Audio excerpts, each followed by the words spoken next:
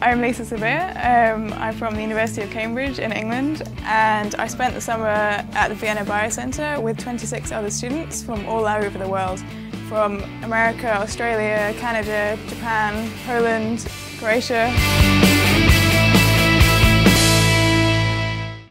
We each choose a lab to work in in one of the four big institutes that is part of the Vienna Biocentre.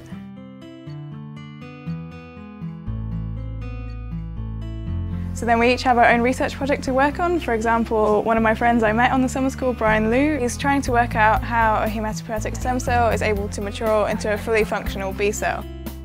So the gene that he's focused on is called EBF1 and that changes DNA accessibility, inducing histone modifications, which in turn can lead to a change in gene expression.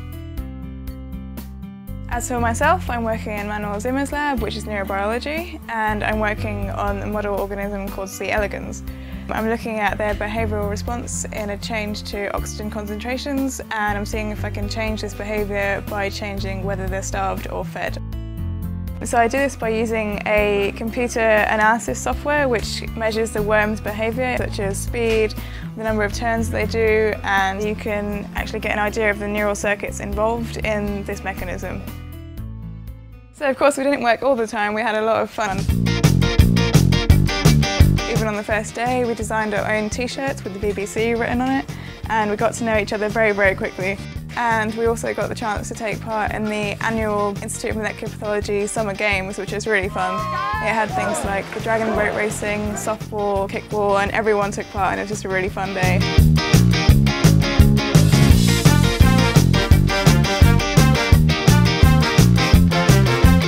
Vienna as a city is a very stunning city. It has a lot of architecture that is very old and which I have many, many pictures of.